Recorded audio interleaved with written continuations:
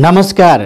ज्योतिष ठाकुर देवकोटा युट्युब च्यानलमा क्यामेराबाट रञ्जना देवकोटाको साथमा म हुँ ज्योतिषी ठाकुर देवकोटा। आदरणीय दर्शकहरू ज्योतिष ठाकुर देवकोटा युट्युब च्यानलमा हामी ज्योतिष वास्तु धर्म र संस्कृतिको बारेमा कुराकानी गरिरहेका हुन्छौँ। उसो त हाम्रो च्यानल पहिलोपटक हेर्दै हुनुहुन्छ सब्सक्राइब गर्नुभएको छैन भने सब्सक्राइब गरिदिनुहोला नजिकै रहेको बेलमा क्लिक गरिदिनुहोला। यसो गर्नुभयो भने हामीले राखिएका नयाँ ज्ञान जानकारीहरू तपाईँ सजिलै प्राप्त गर्न सक्नुहुन्छ र ज्ञान लिन सक्नुहुन्छ। तपाईँको मनमा कुनै पनि जिज्ञासा छ केही सोध्न मन लाग्छ भने आफ्नो फुर्सदको समयमा हामीलाई फोन गर्न सक्नुहुन्छ। हाम्रो मोबाइल नम्बर रहेको छ अन्ठानब्बे चार अठहत्तर चौवालिस शून्य पन्चानब्बे अन्ठानब्बे शून्य पन्चानब्बे साठी पाँच सय सन्ताउन्नमा फोन गर्न सक्नुहुन्छ। आदरणीय दर्शकहरू आज हामी यहाँहरूको माझमा यस्तो महत्त्वपूर्ण विषयवस्तु उठान गरिरहेका छौँ कि हरेक मानिसको आफ्नो गुण र विशेषता हुने गर्छन्। है हरेक व्यक्तिका आफ्नै लक्षण हुन्छन्। त्यसै गरी हरेक व्यक्ति आफ्नो आफ्नो राशिअनुसार चलिरहेको अवस्था रहन्छ। हरेक राशिको आफ्नो आफ्नो लक्षणहरू हुन्छन्।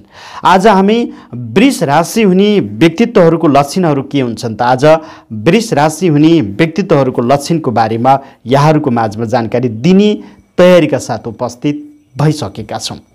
वृष राशिको पहिलो लक्षण रहेको छ तपाईँ सुन्दर व्यक्तित्वको रूपमा हुनुहुन्छ। त्यसै गरी वृष राशिको दोस्रो लक्षणको रूपमा रहेको छ सहनशील व्यक्तित्वको रूपमा तपाईँ हुनुहुन्छ। त्यसै गरी वृष राशिको तेस्रो लक्षणको रूपमा हामी बताउँदैछौँ तपाईँ बुद्धिमान व्यक्ति भएको रूपमा तपाईँलाई लिन सकिन्छ। वृष राशिको चार नम्बर लक्षणको रूपमा हामी लिन्छौँ तपाईँको लागि अत्याधिक गुणवान भएको व्यक्तिको रूपमा तपाईँलाई लिन सकिन्छ। त्यसै गरी वृष राशिको हामी पाँचौँ लक्षणको रूपमा लिन्छौँ मधुरभाषी मिठो बोल्ने शैली भएको व्यक्तिको रूपमा तपाईँ वृष राशिलाई लिन सकिन्छ। त्यसै गरी वृष राशिको छ नम्बर लक्षणको रूपमा हामी राख्दैछौँ। तपाईँ धैर्यवान व्यक्तिको रूपमा रहनु भएको हुन्छ। त्यसै गरी वृष राशिको हामी सातौँ लक्षणको रूपमा यहाँहरूको माझमा राख्दैछौँ। तपाईँ उदार भावना भएको व्यक्तिको रूपमा पर्नुहुन्छ। त्यसै गरी वृष राशिको हामी आठौँ नम्बर लक्षणको रूपमा यहाँहरूको माझमा राख्दैछौँ। तपाईँ उच्च व्यक्तिको सङ्गत गर्न मन पराउने व्यक्तिको रूपमा लिन सकिन्छ। त्यसै गरी वृष राशिको हामी नौ नम्बर लक्षणको रूपमा हामी राख्दैछौँ। तपाईँ आफ्नो इच्छाअनुसार काम गर्ने सोच बनाउने व्यक्तिको रूपमा लिन सकिन्छ। त्यसै गरी हामी वृष राशिको दस नम्बर लक्षणको रूपमा राख्दैछौँ। तपाईँ चतुर स्वभाव भएको व्यक्तिको रूपमा पर्नुहुन्छ। त्यसै गरी वृष राशिको एघारौँ लक्षणको रूपमा हामी यहाँहरूको माझमा राख्दैछौँ। तपाईँ मिलनसार व्यक्तिको रूपमा रहनु भएको हुन्छ। त्यसै गरी वृष राशिको हामी बाह्रौँ नम्बरको लक्षणको रूपमा यहाँहरूको माझमा राख्दैछौँ। तपाईँ नीति अनुसार अगाडि बढ्ने सोच भएको व्यक्तिको रूपमा रहनुहुन्छ। त्यसै गरी वृष राशिको तेह्र नम्बर लक्षणको रूपमा हामी राख्दैछौँ। वृष राशिको तेह्र नम्बर लक्षण रहेको छ। तपाईँ सङ्गीतमा राम्रो चासो सुन्न मन पराउने व्यक्तिको रूपमा लिन सकिन्छ। त्यसै गरी वृष राशिको हामी राख्दैछौँ चौध नम्बर लक्षणको रूपमा।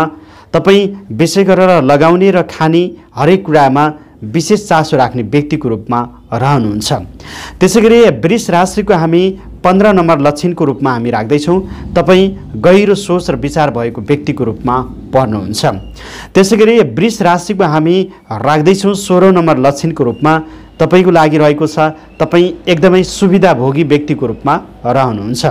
त्यसै गरी वृष राशि हुने व्यक्तिको हामी राख्दैछौँ सत्र नम्बर लक्षणको रूपमा। आफ्नो काम गोप्य राखेर अगाडि बढ्ने सोच भएको व्यक्तिको रूपमा तपाईँलाई लिन सकिन्छ। त्यसै गरी हामी राख्दैछौँ वृष राशिको लागि तपाईँको लागि रहेको छ। अठार नम्बर तपाईँको लागि लक्षणको रूपमा हामी राख्दैछौँ। तपाईँ सम्मानित व्यक्तिको रूपमा रहनुहुन्छ। त्यसै गरी वृष राशिको लागि हामी उन्नाइस नम्बरको लक्षणको रूपमा राख्दैछौँ। तपाईँ आफैले धन कमाउनुपर्छ भन्ने सोच र खोज भएको व्यक्तिको रूपमा पर्नुहुन्छ। त्यसै गरी वृष राशिको हामी बिसौँ लक्षणको रूपमा राख्छौँ। तपाईँको वैघा वैवाहिक दाम्पत्य जीवन राम्रो हुन्छ। त्यसै गरी हामी वृष राशिको राख्दैछौँ एक्काइसौँ नम्बरको लक्षणको रूपमा तपाईँ पाँच फिटदेखि साढे पाँच फिटसम्मको उचाइमा अधिकांश व्यक्तिहरू रहनु भएको हुन्छ। त्यसै गरी हामी राख्दैछौँ वृष राशिको बाइसौँ लक्षणको रूपमा तपाईँलाई सेतो क्रिम र विभिन्न किसिमका रङ्गी बृङ्गी किसिमका लुगा र पोसाकहरू लगाउन मनपर्छ। त्यसै गरी हामी वृष राशिको तेइसौँ लक्षणको रूपमा राख्दैछौँ। तपाईँलाई सुन चाँदी मोती जल दुध दही तपाईँका लागि तरल पदार्थका वस्तुहरू पनि राम्रो र उपयुक्त हुने मानिन्छ त्यसै गरी वृष राशिको लागि हामी पच्चिस चौबिस नम्बरको लक्षणको रूपमा यहाँहरूको माझमा राख्दैछौँ। पच वर्षको पच्चिस वर्षको उमेरमा तपाईँको भाग्य उदय हुने गर्छ। त्यसै गरी वृष राशिको हामी पच्चिस नम्बरको लक्षणको रूपमा राख्दैछौँ। तपाईँलाई दक्षिण पूर्व दक्षिणको कोण आग्नि दिशातिर बढी मन पर्छ र त्यो दिशामा गएर बढी कर्म गर्नुहुनेछ। त्यसै गरी वृष राशिको हामी छब्बिस नम्बर लक्षणको रूपमा राख्दैछौँ। तपाईँको पढाइ क्षेत्रमा कम्प्युटर आइटी सम्बन्धी कानुन शिक्षा सङ्घाय सम्बन्धी कला साहित्य सङ्गीतको क्षेत्रमा अध्ययन गर्न मन पराउनुहुन्छ। त्यसै गरी वृष राशिको हामी सत्ताइस नम्बर लक्षणको रूपमा राख्दैछौँ। तपाईँका सन्तान उत्पादन क्षमता बढिरहन्छ तर पनि आफ्नो इच्छाअनुसार सन्तान जन्माउन सफल रहने व्यक्तिको रूपमा वृष राशि रहनु भएको हुन्छ। त्यसै गरी वृष राशिको अठाइस नम्बर लक्षणको रूपमा हामी यहाँहरूको माझमा राख्दैछौँ। आफूभन्दा कम उमेरको व्यक्तिहरूसँगको सङ्गतले जीवनमा सफलता प्राप्त गर्ने राशिको रूपमा तपाईँ रहनुहुन्छ।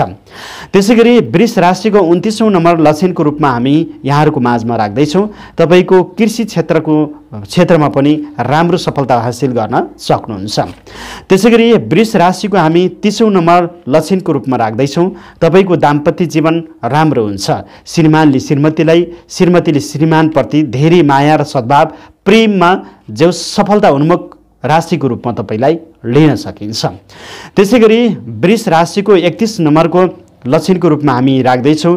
तपाईँ वृष राशि हुने जति पनि व्यक्तित्व रहनु भएको छ राजनीतिक सामाजिक आर्थिक र घरैसी क्षेत्रमा नेतृत्व लिन सक्ने व्यक्तिको रूपमा तपाईँ रहनुहुन्छ। त्यसै गरी वृष राशिको अन्तिम बत्तिस लक्षणको रूपमा हामी यहाँहरूको माझमा राख्दैछौँ। तपाईँ बाल्यकालमा दुखी र बढी सङ्घर्षशील व्यक्ति र वृद्ध अवस्थामा सुखी व्यक्तिको रूपमा रहनुहुन्छ। आदरणीय दर्शकहरू आजको यहाँहरूको माझमा हामी वृष राशिको बत्तिस लक्षणहरू राख्यौँ। यो वृष राशिको बत्तिस लक्षण यहाँलाई कस्तो लाग्यो जस्तो लाग्यो त्यस्तै सल्लाह सुझाव र प्रतिक्रिया दिन सक्नुहुन्छ। यद्यपि हाम्रो च्यानल पहिलोपटक हेर्दै हुनुहुन्छ सब्सक्राइब गर्नुभएको छैन भने सब्सक्राइब गरिदिनुहोला नजिकै रहेको बेलमा क्लिक गरिदिनु होला यसो गर्नुभयो भने पक्कै पनि हामीले राखिएका नयाँ ज्ञान जानकारीहरू तपाईँ सजिलै प्राप्त गर्न सक्नुहुन्छ। ज्योतिष वास्तु धर्म र संस्कृति सम्बन्धी कुनै पनि जिज्ञासा छन् संसारको जुनसुकै ठाउँबाट हामीलाई फोन गर्न सक्नुहुन्छ। हाम्रो मोबाइल नम्बर रहेको छ अन्ठानब्बे चार अठहत्तर चौवालिस शून्य पन्चानब्बे अन्ठानब्बे शून्य पन्चानब्बे साठी पाँच सय सन्ताउन्नमा फोन गर्न सक्नुहुन्छ। आजलाई भने क्यामेराबाट रञ्जना देवकोटाको साथमा तपाईँहरू सम्पूर्ण दर्शकहरूलाई धेरै धेरै धन्यवाद दिँदै अर्को भिडियो अर्को श्रृङ्खलामा भेट्ने बाचा गर्दै म ज्योतिषी ठाकुर देवकोटागे चाहन्छु। यहाँहरूको जीवन सुन्दर बितोस्। नमस्ते। जय होस्।